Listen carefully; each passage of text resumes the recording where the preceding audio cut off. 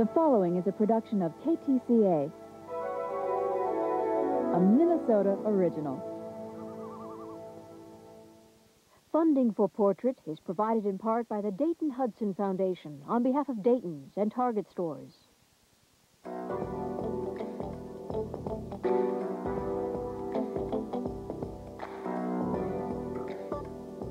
Though he used to fantasize about being an astronaut, he turned his attention to weather when he was 13. He's trying to learn how to play golf, and he loves to shop for antiques. He's a very busy man who has perfected the art of the 10-minute catnap. Our guest is Paul Douglas. Paul Douglas, are you the original weather nerd? yeah, I, I, I, was a weather nerd in high school. Uh, I did computer programs in the seventh grade that try to predict the weather. All of them failed miserably. And uh, I remember uh, my name in German class uh, in sixth, sixth grade was Gustav, and they used to always ask me about the weather in sixth grade. It was a pretty good scam, you know, talking about the weather. You were always interested in it from day one? From about the sixth grade on, I had a really good science teacher who to this day I credit with, with uh, being responsible for the spark of curiosity. And he fanned that. And uh, from that day on, I thought, you know, this is an area that I could be very, very interested in. And uh, I was a Boy Scout, an Eagle Scout, and Weather Merit Badge was a favorite. A number of things sort of converged at the age of about 12, 13. I used to give uh, truckers weather reports on the CB radio every evening at 6 o'clock. We'd gather on Channel 7 and babble about the weather for about 20 minutes. What was your name on the CB? Yeah, the weatherman. Not very creative, but it's the best we could come up with at the time. But, uh, and your parents encouraged you in this? Yeah, they did. They did. In fact, my father still, God love him, sends clippings, weather-related clippings from the Wall Street Journal and the New York Times, and anything at all that's, that's sort of interesting. We have an ongoing clipping service. And, uh, yeah, I, I, really owe a lot to my parents uh, for a lot of reasons, but uh, they really did help me uh, get into weather very, very easily. What other things do you owe to your parents? I think a sense of optimism, especially my, my father uh, has a good sense of humor and uh, an overriding, at times naive perhaps, sense of optimism. And I think you have to have that, first of all, to be working in, in, uh, in television news. Why? Because it's, it's a business of cynics. I mean, basically, you're supposed to be cynical. Um, supposed to uh, question truth. And uh, I think that sense of optimism in some regards runs contrary to what is expected in the television news business. It's also a very unstable business. I mean, the old adage used to be, have blow dryer, will travel. You know, keep the U-Haul warmed up, the next job is uh, just a phone call away. That has changed in the past five to ten years, mercifully. Uh, more people are staying put. But it used to be every two, three years you were expected to, to go to the next city. Otherwise, something was wrong with you. You're damaged goods. Why aren't you moving on? Do you feel that pressure? Not so much. Not, not here in the Twin Cities. This has always been a very stable market. And you look at people like Dave Moore and Bud Kraehling, uh, who are institutions here. Uh, the Twin Cities, more than just about any other metro area in the country, demands stability. People here want to turn on the TV tube and know that they're going to see a certain face. And uh, somewhere along the way, news directors wised up, and they realized, hey, if we keep the same people on the air and promote them and give them a chance, maybe viewers will come around and maybe they'll be successful. But uh, I can't imagine a more interesting place to do the weather. There are some other cities in the country where weather is taken seriously, where there is weather to talk about. I don't think any more interesting than the Twin Cities. This is it. This is the Super Bowl of weather. And I've said that ad nauseum, but it really is true. Uh, Boston, a serious weather town. Chicago, fairly serious.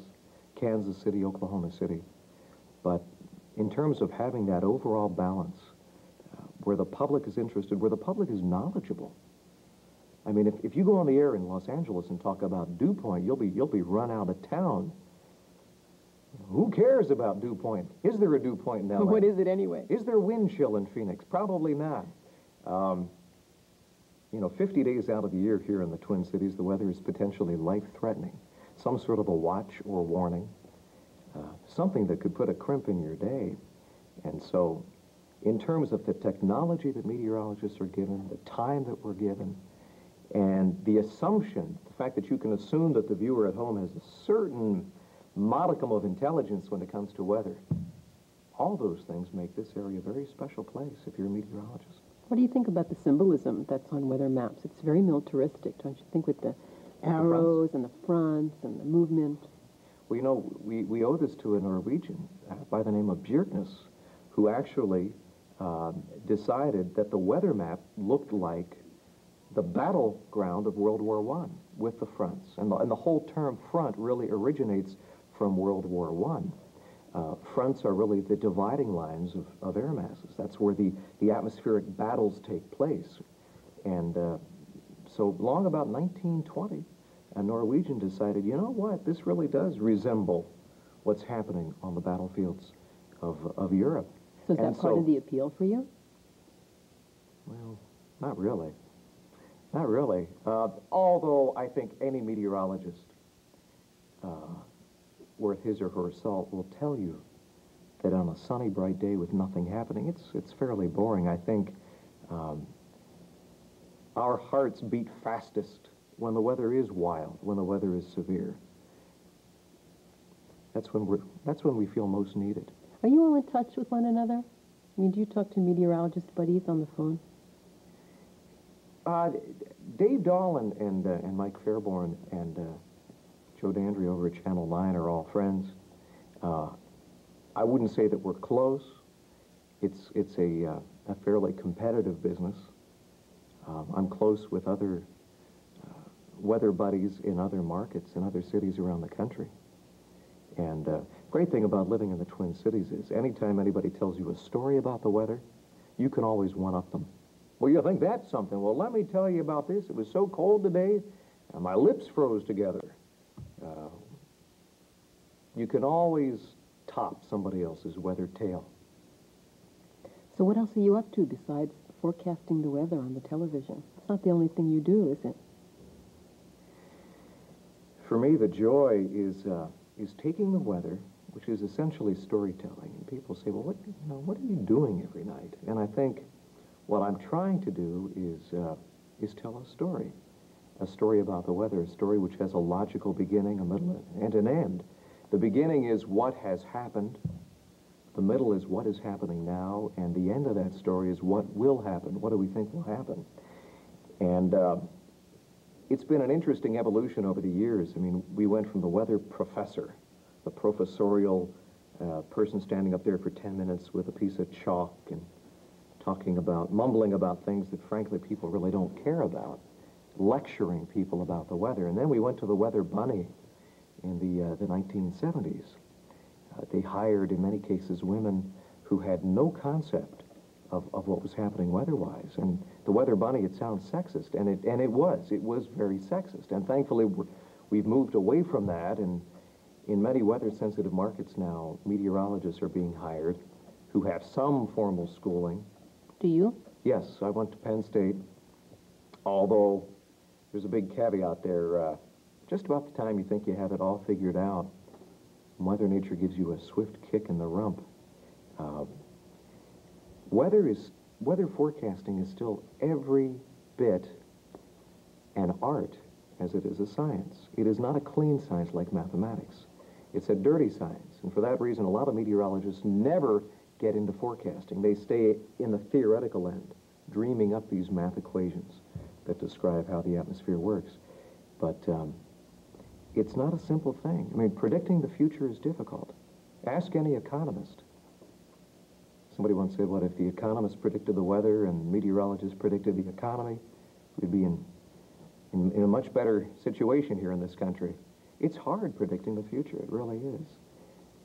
There are billions of factors which will influence what the weather will be tomorrow over North America, any handful of which may be critical. Computers have helped us since the 1960s, but the computers are only as good as our knowledge, our understanding of the weather, which is very incomplete. How the oceans influence the weather, how mountains influence the weather. All of these things are represented in our computer models, but in many respects, we're still grasping at straws. We don't really know how the weather machine works. We have three or four computer models that we look at on any given day. Sometimes they all disagree. The nested grid will say rain for tomorrow. The LFM will say snow. The Baroclinic will say partly sunny. What do you predict? That's where gut feeling and a good memory, being able to say, well, I remember, I remember a similar situation three years ago. Here's what happened. It's not cut and dry. Rarely is the forecast black or white. Usually it's some nebulous shade of gray, and you have to go in there and say, okay, do I believe the computers? Do I believe my gut feeling? What do I think will happen? You're also involved in designing software, computer software, for weather prediction, right? Right.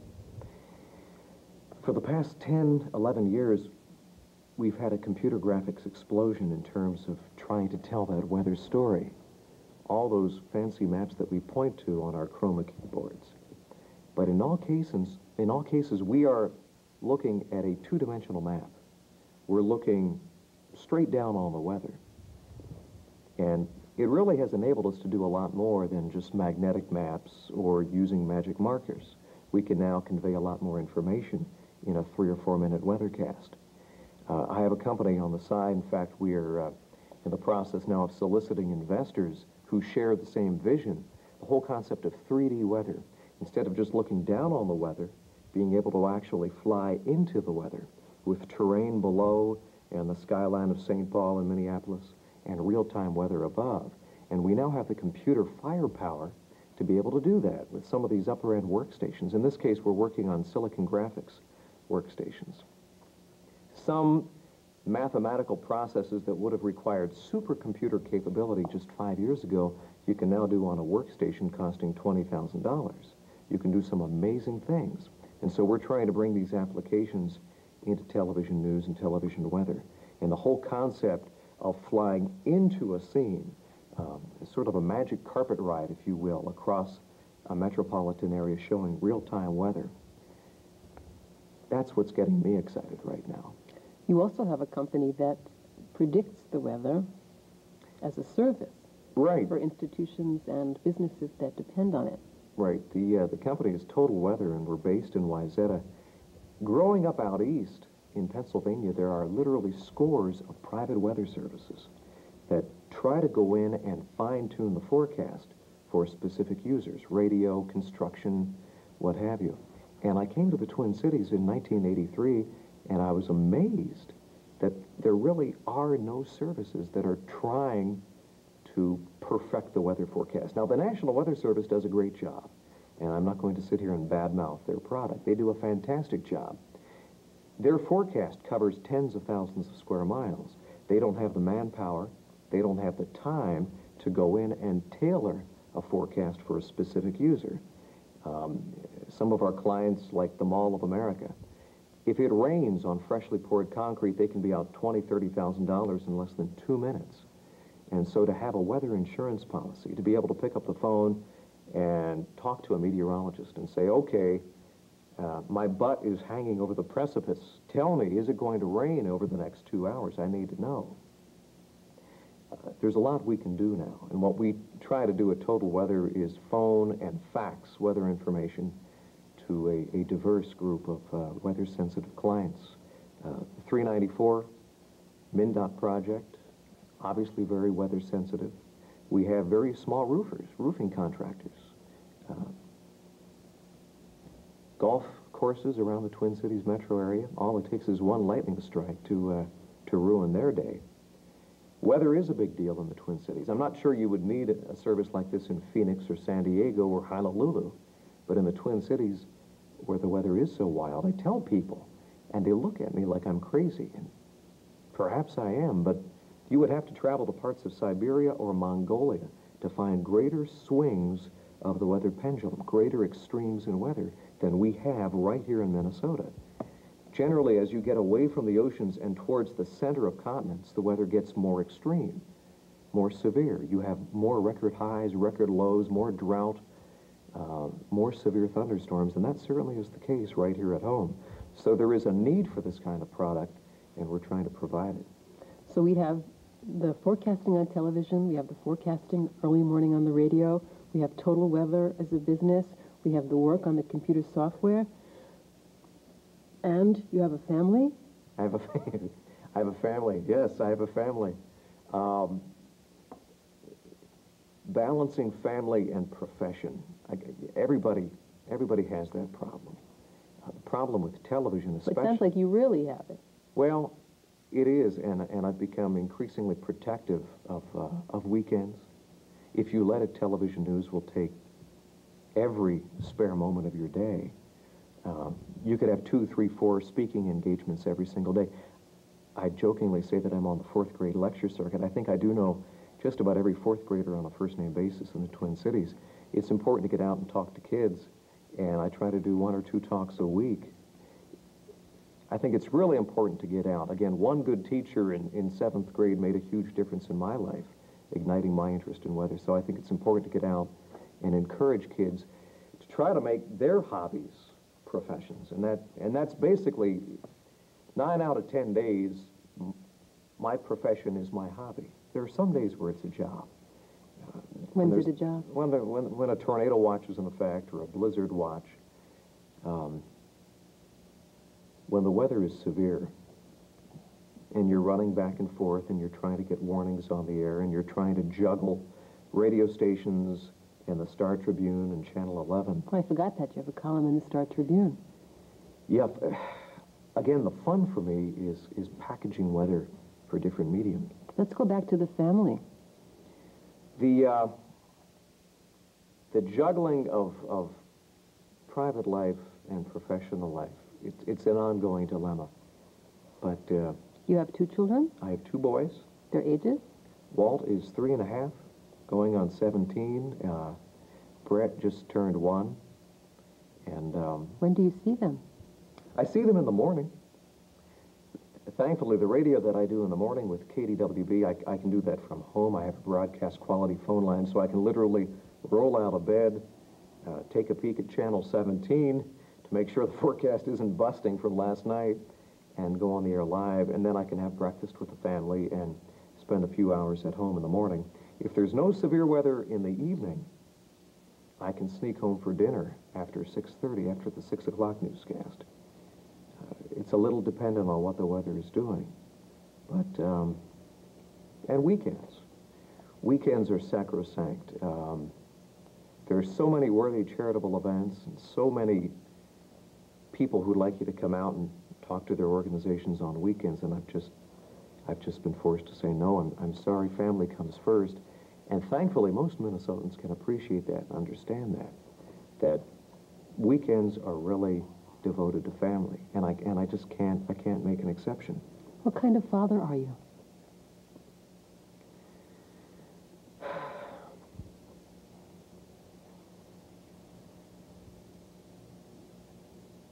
Good question.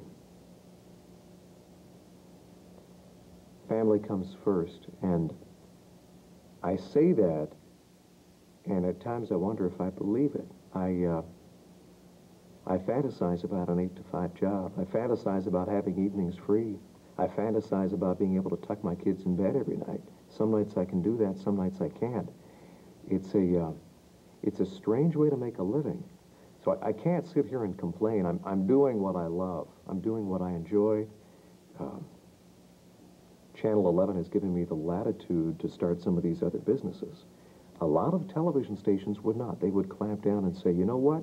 You are ours, lock, stock, and barrel. These other outside ventures, knock it off. Gannett uh, has given me the latitude. And there's been, a, I think, a synergistic effect with the Star Tribune and the radio stations. And, what have you. I think it has benefited. I hope it has benefited KARE 11. I don't want it to be at the expense of family. Um, but I would be dishonest if I said that I don't worry about that. You know, am I spending enough time with my kids? I think I am. I think you can always spend more time with your kids. And it's something that I wrestle with every day. It does bother me.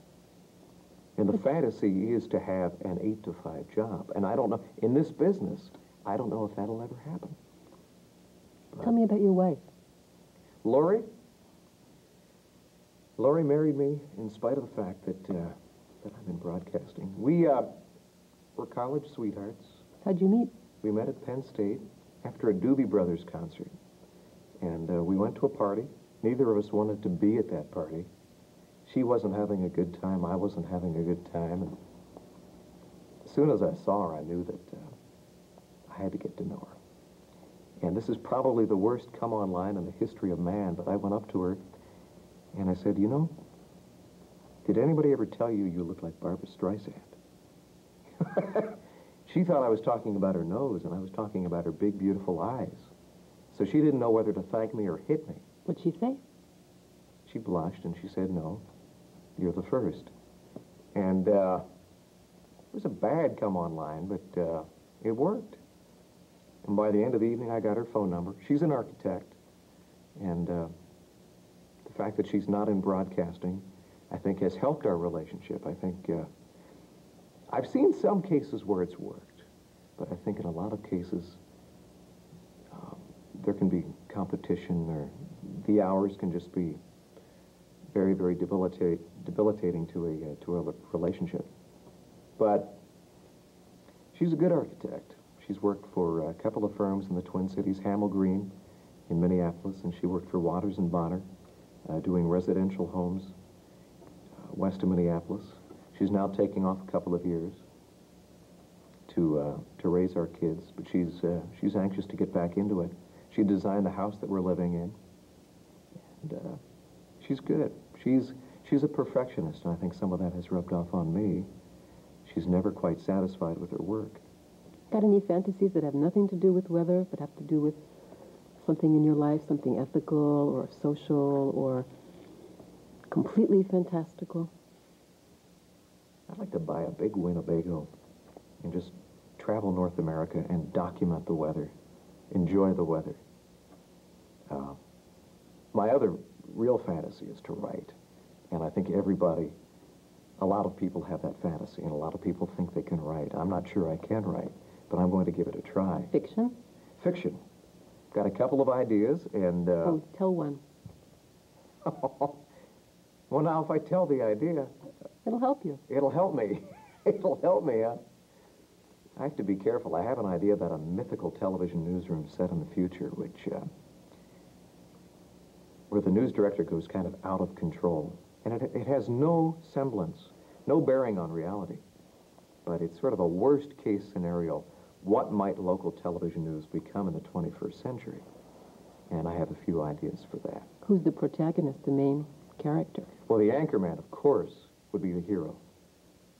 And uh, the news director, uh, in the name of ratings, is willing to do just about anything. Are there any fiction ideas you have that are completely unrelated to TV and weather?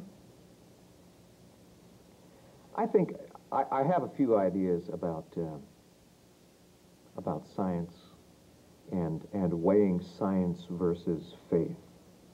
And a lot of people have trouble with faith because it falls outside of the realm of, of science and the scientific method. People say, well, well, your belief structure is based on blind faith. And I say, no, it's not. It's based on a certain degree of evidence and a high degree of probability. You know, I can't guarantee you that Abraham Lincoln lived in the mid-1800s, but there's enough evidence, circumstantial and otherwise, for me to say, yeah, you know, I, I think, I do believe that Abraham Lincoln existed, and, and I do believe that uh, he had a lot to contribute. So I have a few other ideas for the, the whole struggle, if you will, between science and faith, science and religion. Often they seem at odds. They don't necessarily have to be. Paul Douglas, thank you for being with us on Portrait. Thank you.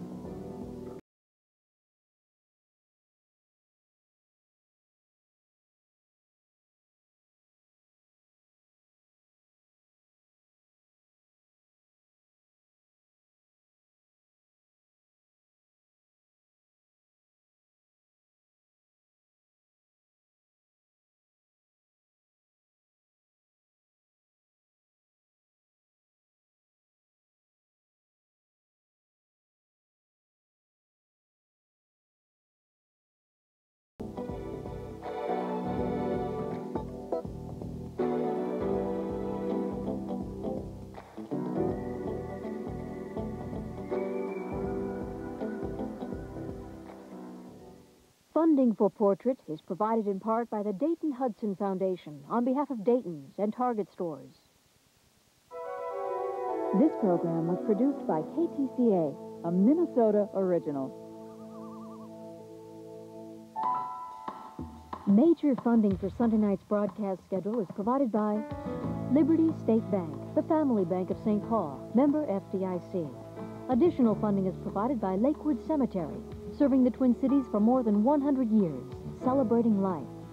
Donaldson Company, worldwide manufacturer of filtration products for heavy-duty diesel engines and industrial applications, and by the members of Channel 2.